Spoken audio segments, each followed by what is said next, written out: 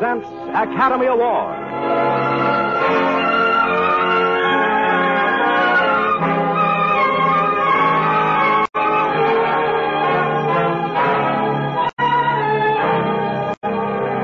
Every week, Squibb brings you Hollywood's finest. The great picture plays, the great actors and actresses. Techniques and skills chosen from the honor roll of those who have won or been nominated for the famous Golden Oscar of the Academy of Motion Picture Arts and Sciences.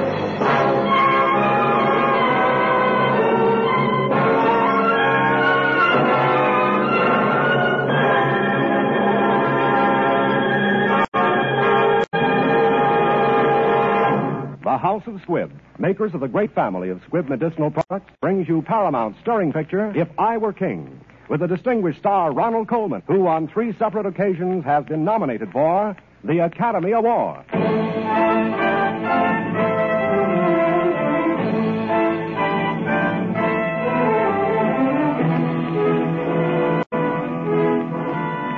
Reign of Louis XI, Paris was besieged by the armies of the Duke of Burgundy. Throughout the long winter, its inhabitants, shut off from the outside world, faced either starvation or slaughter. Honest man turned thief, thief turned killer, and in these dark, tumultuous times, like a rare jewel, fallen into the gutter, claimed the genius of a poet, Francois Villon.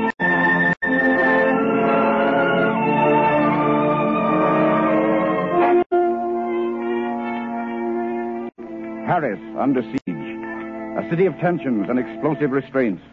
A city of ironical paradoxes like this. A beggar come to church to look at a woman of quality.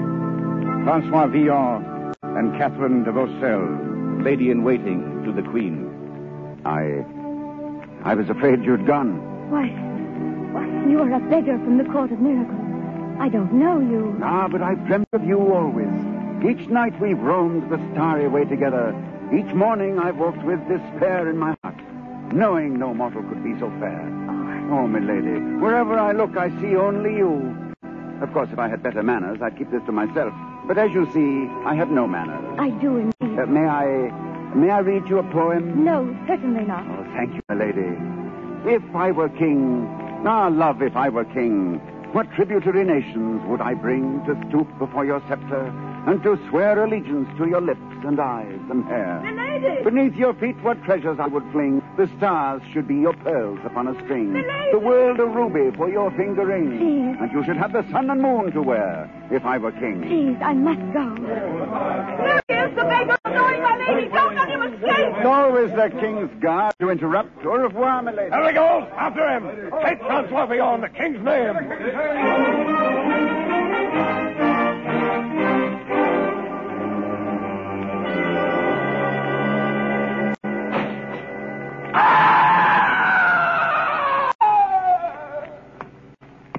Where is the prisoner? He is in here in the torture room, Your Majesty. Oh, nasty smell down here. As if the cook had burnt the roast. Well, now, my man, why bring all this suffering on yourself? You were seen to pick up this arrow. To whom were you taking it? Better use your tongue while you still have it. Oh, he still has his tongue, hasn't he? Yes, Majesty. Good. Now, my man, you'd better speak when you can speak. Where were you taking this arrow? What's that? I'll bend closer if you wish. Now, where were you taking it? So. Well, well. Very interesting. Where is this, uh, this Fearcone Tavern? Fearcone Tavern, sire. Why, it's in the Court of Miracles. A spot frequented by wantons, cutthroats, beggars, thieves. The scum of Paris. Very interesting.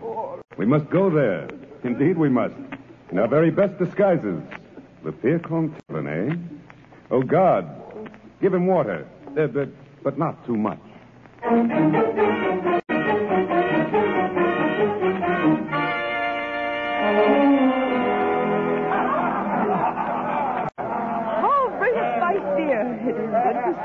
Strangers be alone. Come, ugly one, buy spice beer. And welcome to Piercon Tavern. Uh, me? Oh, thanks. Wayne. Well, well, you get. What's this? Ha, Waste not thy hat upon this juiceless mold, ere all thy fragrant youth depart and leave thee useless old. Isn't that beautiful? Who is this cockroach? Why, that's Francois Villon, the poet. A tinker of verses, gentlemen. No offense. Poetry is his own worst enemy. Come, join me in a bottle of wine, fit for a king. You drink more than is good for you, my friend. What can a man do but drink when France is going to the devil? I suppose you could do better if you were king. I do not wish to appear boastful, Brother Longnose, but yes. I try and know my subjects to earn their loyalty instead of their loathing. So, by knowing the worst in them, I bring out the best in them. You should have been an orator, my friend. I am an orator. Thank you. Thank you, my subjects. And now, where is the wine? The Grand Constable! Find you, villains! We've come for a rogue named Villon. Francois Villon. Which one is he? I am Francois Villon. Don't let them take you. Down with the king's watch. Sword, quickly, a sword.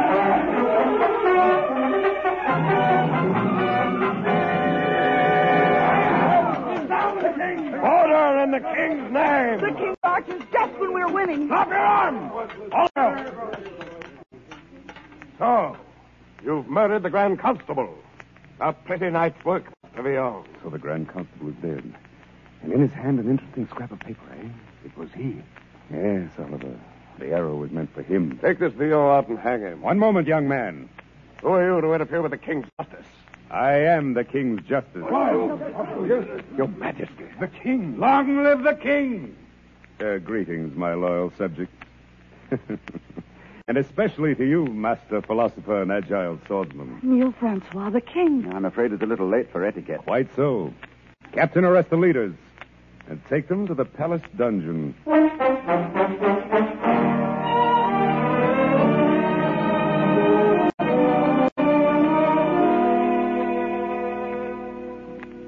Suppose you're wondering what I'm going to do with you. I can almost guess. Hmm. I could have you boiled in oil or sliced or drawn and quartered, and there are other tortures that for the moment escape me. Your Majesty, But I'm not going to hang you yet. Your Majesty will never know my gratitude. I probably won't.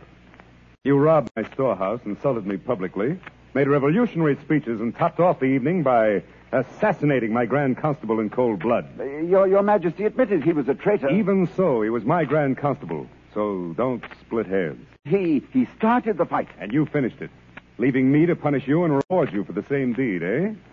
Something which would have puzzled King Solomon himself. Of course, you might hang me at one end and pin a medal on the other. Hmm. Greater king would hang you out of hand, and a lesser king would forgive you. I probably fall somewhere between the two. And this is my decision. Since you have deprived me of the services of my Grand Constable, Yes, but Your Majesty, I. don't interrupt me. And since you think it's so easy to rule these carrion who call themselves my subjects, I hereby appoint you Grand Constable of France and Brittany. Grand Constable? Yeah, defender of my crown, commander in chief of my armies, and a dispenser of justice, high, middle, and low. But, but is, is, is this a jest? Not at all. Oh, it's true. You come from the gutter, my friend. But you have a certain native sense of uh, loyalty, courage. And at least it will prove an interesting experiment, eh? Oh, now kneel down. Well, get down, get down. Go on, go on. Ye- ye- yes, sire. I dub thee Count de Montcorbier, hereditary knight of the Golden Buckle. Yes, and I think you need a bath. Oliver, Yes, Your Majesty. uh, show the uh, Count de Montcorbier to his room. This way, my lord. Your Majesty. My Lord Grand Constable.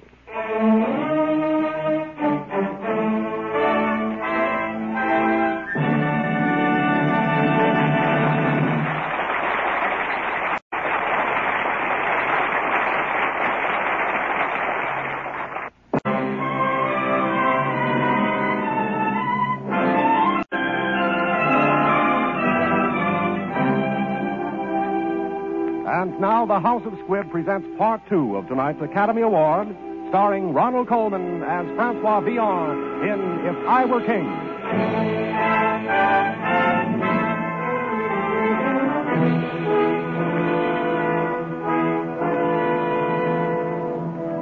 Well, my Lord Constable, you smell different. You look so different, I wouldn't know you. Thank you, sire. Uh, come. The court is waiting.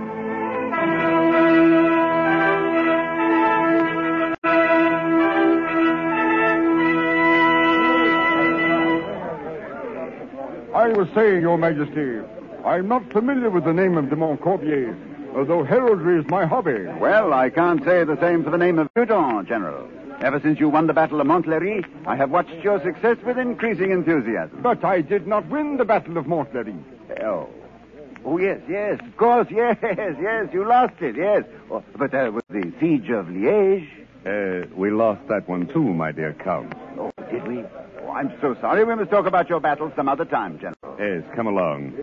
Now, this is the Duchess uh, de Longueuil. Oh, I say. Where is the Count de Montcorbier? He spied one of the ladies in waiting, sire. Seemed to know her. Oh? Yes, so he does.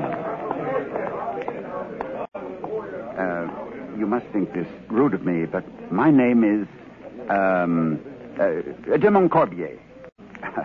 Silly, isn't it?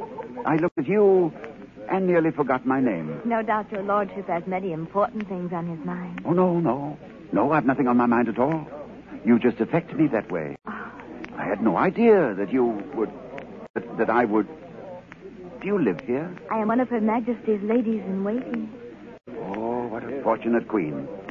Do you know, the moment I set eyes on you, I said to myself, there is all the beauty of the universe, past, present, and future, personified and embodied in this exquisite creature. And yet, I know not the name of all this loveliness. My name is Catherine de Vaucelles.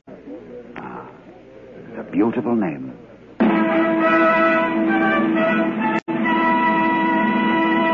Yes? What is it? Your Majesty, a herald from the Duke of Burgundy entered the city under a flag of truce. He demands audience. Admit the herald from Burgundy.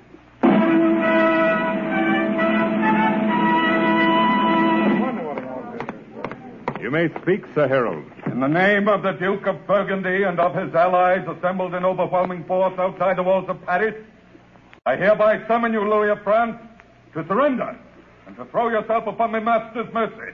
And if I refuse? For the city, famine till the end, then fire and the sword. And for yourself, no hope of pardon. And if I accept? An honorable retreat. you mean a dishonorable retreat, huh?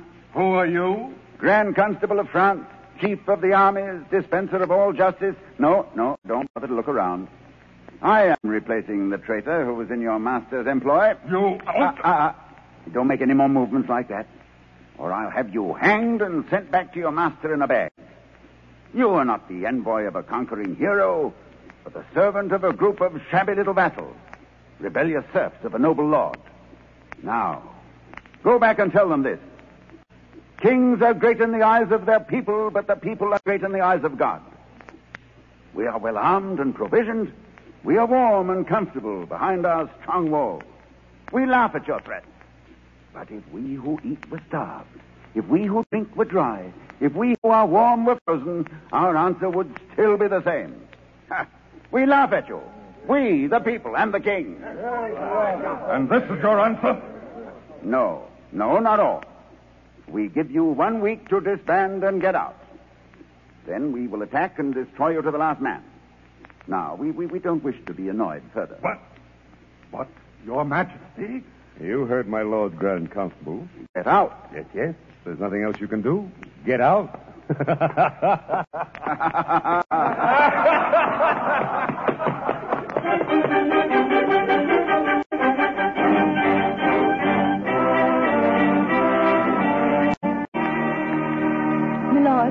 will the Burgundians retreat or will they stay and be slaughtered? Oh, I'm afraid they'll stay and be slaughtered. Will you attack at dawn or during the night? Which would you prefer? Milord, you're making fun of me. No, milady. I'm smiling because my heart is singing. Will you wear my kerchief into battle? Oh, Aren't you afraid it may take my mind off the fighting? The Queen said that you had called a council of war. All the generals of France. I did. I told them my plan of attack. I shall know their verdict any moment. They can do nothing but follow you. Oh, I hope you're right. Will you bring me word? Of course. Where shall I find you? Well, you might find me behind the fourth door on the left on the third floor of the new east wing, if you can remember it. It is engraved on my brain in letters of fire.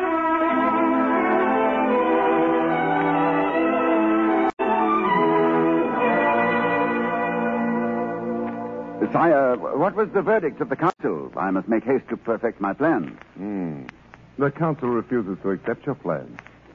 And as you say, you must make haste, for you have very little time. Uh, sire, I, I, I don't understand. Oh, didn't I tell you? Well, now let me see. You rendered us a slight service, which we are repaying with a week of exalted splendor. A week? A week, exactly. Of course, the week is almost gone. You have, uh, let me see, yes, exactly one more day. Then I shall expect you to build me an extra fine gibbet. And from it, hang Master Villon. Yes. Yes, you know, for a few hours, Your Majesty had me almost disappointed in him. Well, I'm glad your faith in me was sustained, my dear Villon. Good night. Good night. Uh, Your Majesty. Yes, my lord. What if I should escape? Oh, you won't escape. I've taken care of that. Just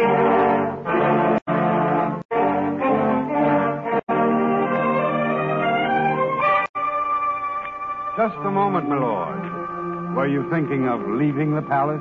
Oh, just taking the air before retiring. Taking the air on the battlement. Follow him. Quick, quick.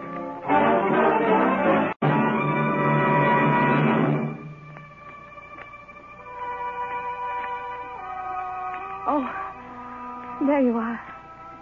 I was afraid you'd forgotten. How could I? Give me your hand. In here. My lord, I heard the news of the council. Scurvy cowards. Why didn't you throw them out of their command? Too many of them. More than I could replace to attack in a week. Then attack in two weeks. His Majesty only gave me one. I still have tonight. My lord, sometimes I do not understand you. My heart tells me that you will not let Paris be defeated. And What else does your heart tell you? Oh, my lord, I think you know. Does it mean so much to you that Paris be saved? I had visions of the city free again. Food coming through the gates and and travelers from far off places. Hunts in the forest of Fontainebleau. And I wanted you to take me on a picnic in the spring. I might not have been able to anyway. Why not? Oh, the spring is some time off, and time does strange things to people, doesn't it? I wonder. I wonder in what misty isle the voice of Sappho thrills the air. In what green valley of the Nile does Cleopatra still despair for Antony, the debonair? The wind had blown them all away. The good, the bad, the foul, the fair. Where are the snows of yesterday? Who wrote that? A person of no importance who is to be hanged. What a pity. Ah, but you shouldn't feel too sorry for him. Such wretches are born and live in the shadow of the gibbet. They're starved and tortured. The slightest wrong they commit is punishable by hanging. So when at last they do hang, well, they've always expected it. Aren't we lucky we're not in their shoes? yes, yes, it is nice, isn't it? Poor starving people. But why wouldn't they fight for Paris? If they had someone to lead them, to assure them that when they had fought and conquered, they would find their lot different, their king grateful. Catherine, Milord. they would. They would fight. They would conquer. But I would have to lead them. oh, my lord, you.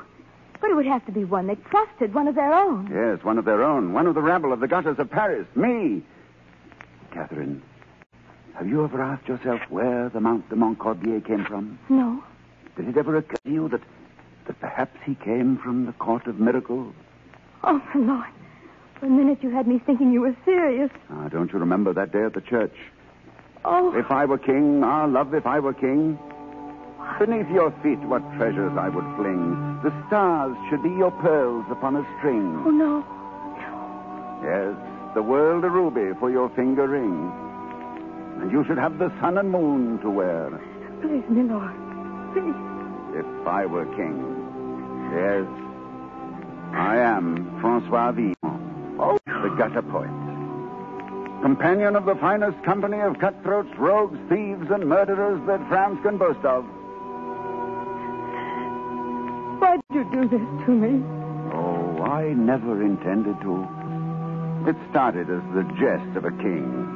And then, then I loved you. Love. with all the meaning that the word can have in paradise. Love. I could not give thee any godlier thing if I were king. Go. Please go. Please.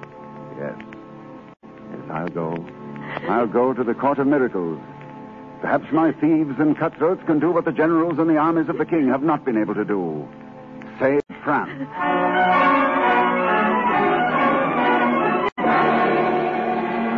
Did you follow him? Yes, sire, but somehow What? Out with it. he escaped. Escaped. After I ordered the finest gibbet built in all France, after him, after him.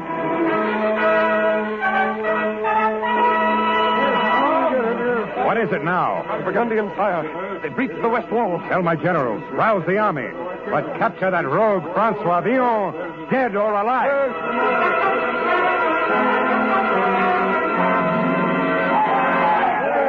You maggots! Listen to me. We've been fools long enough. While they're fighting, we'll sack and loot the city. This is our chance. Who's going to lead us? Yes, who? I am. You, then it. Who get it right? Why, for a good meal, I... Ah, for a good meal, you'd murder your own mother. His oratory is improving with opportunity. Eh, you get? Villon. Francois Villon. Yes, Francois Villon. Come to tell you a few things.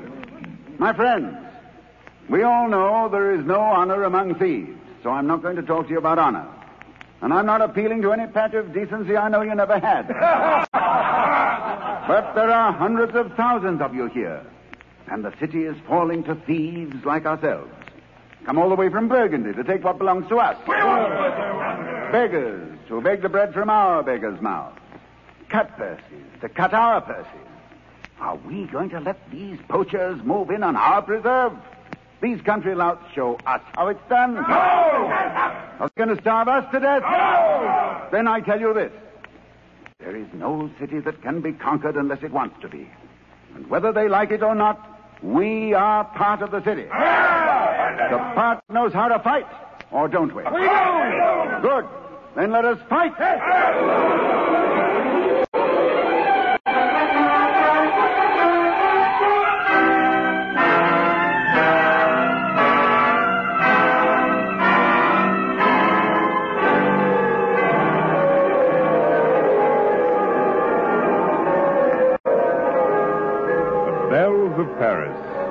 It would seem our side has been victorious. Yes, sire.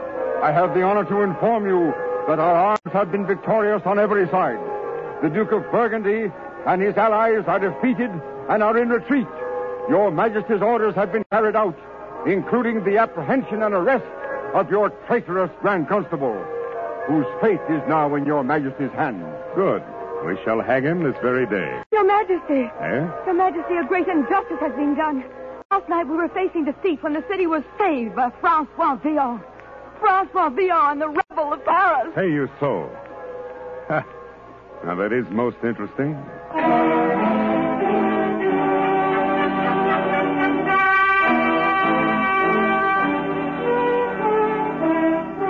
Oh, there you are, Master Cutthroat. Don't tell me I'm to have the honor of your personal escort to the gibbet, Your Majesty. I've been given to understand that you and some other footpads had something to do with defeating the Burgundians last night. Well, suppose I had. Well, just this. That you have a devilish talent for seating me on the point of the sword of justice. And it's becoming uncomfortable in the extreme. I'm sorry I have no cushion to offer, Your Majesty. Oh, spare me your witticisms. It's difficult enough trying to be king of France. Oh, I found that out, Your Majesty. You have? Well, that's the first nice thing you've said to me. Well, now, Francois Villon, in recognition of your heroic but murderous services to the crown, I sentence you to life imprisonment. Oh, I forbid you to show yourself again inside of Paris. You can have the rest of France, but I must have peace. Your Majesty. And one more thing. You owe your head to the intercession of Lady Catherine. Before you leave the palace, she wants word with you. No. No, it, it, it's better this way. Will you, will you thank the Lady Catherine? And tell her that someday I hope to make the saving of my neck worthy of her effort? Oh, get out. Get out.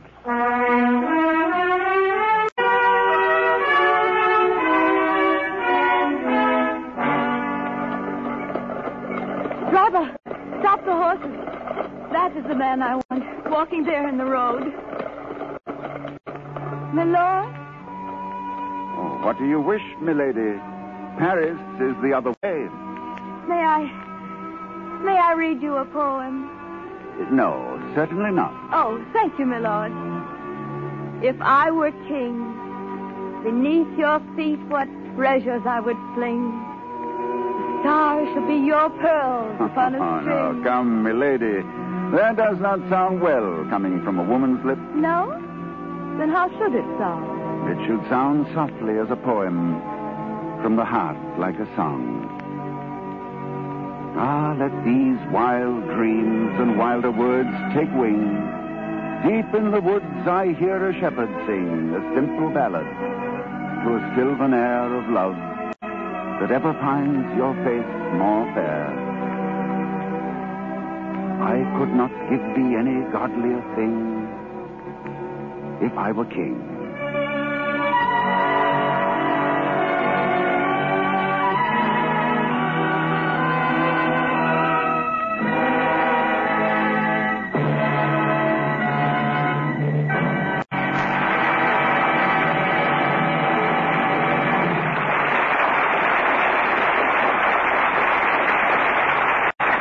Every child born today, one thing is assured. No matter what goals he may choose for himself, he will have a longer life in which to reach them. The average child born today can look forward to 16 more years of life than a child born in 1900. For the great forces of medical science working together are mastering one by one the diseases that cripple and kill. As its part in a whole great program of medical research, the House of Squibb is always seeking better ways to serve the doctor who serves you, pursuing an endless quest for perfection. That's why, at Squibb, today's discoveries hold the promise of even greater contributions tomorrow. That is why you and your doctor share a deep confidence in the House of Squibb. He has learned through the drugs he uses. You have learned through Squibb products you use every day that Squibb is a name you can trust.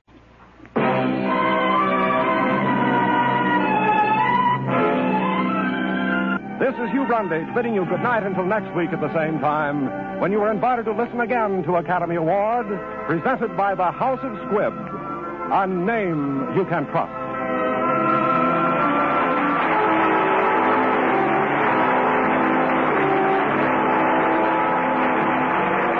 This is CBS, the Columbia Broadcasting System.